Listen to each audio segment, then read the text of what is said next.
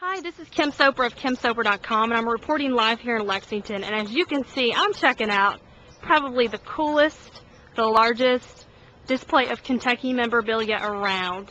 And I'm here scoping out some really neat items, items that you've seen today, but there's a lot of items that you probably have never seen um, in your lifetime as a Kentucky fan. And that's because a lot of these items span over many decades what a collection we have. As you can see, we've got the old-timey car from the 50s. We've got a Kentucky chair, flags, trash cans, really neat concrete statues of Kentucky baseball, Kentucky basketball, and a Kentucky cheerleader. Of course, you can't go wrong without the Kentucky branded basketball go, the Kentucky K flag.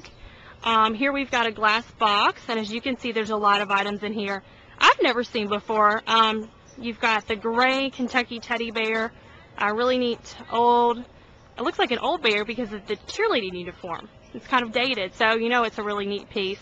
Um, footballs, basketballs, cups, license plates, more ceramic style concrete um, statues, flags, banners, go team, go cats.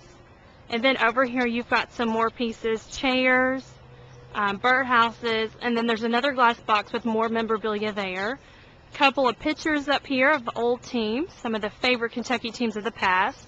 Just a really neat collection, and I think this is a great example of how we need to go out and support our cats. If Billy Gillispie is going to be our $6 million man, the best thing we can do is go out and buy some new UK t-shirts, support our athletic department, show them that Kentucky's back, and Kentucky's number one, not only hopefully in the nation this year, but definitely number one in our hearts. So come check it out. Great collection of memorabilia. Go Cats.